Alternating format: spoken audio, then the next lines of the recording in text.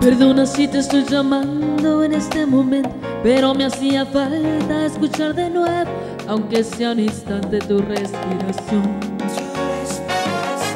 Disculpa, sé que estoy violando nuestro juramento, sé que estás con alguien que no es el momento, pero hay algo urgente que decirte hoy.